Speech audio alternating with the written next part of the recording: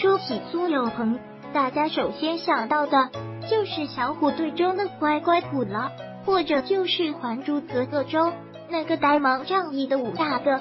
而现如今的苏有朋却是一个制片人和导演，从电视剧慢慢走向大屏幕。作为一个出道这么久的大前辈，最近却因为一张照片而陷入了整容的风波。而这张照片正是苏有朋在综艺《创造营二零一九》中担任导师的定妆照。只不过网友们看到这张照片以后，却是大惊失色。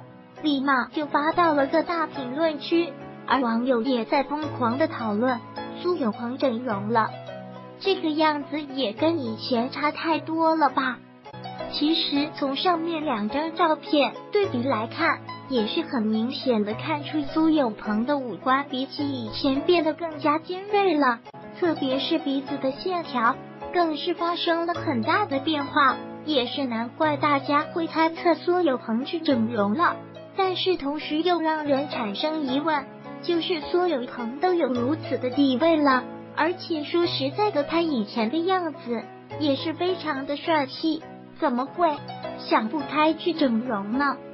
不过对此大家也都不过是猜测而已，也有可能是因为 P 图太过了的原因吧。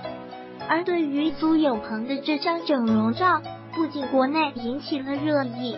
而且还传到了隔壁韩国的网友那边，并且苏有朋的这张照片还迅速成为了韩网上的整容反面教材，被很多的医师转发到了自己的案上。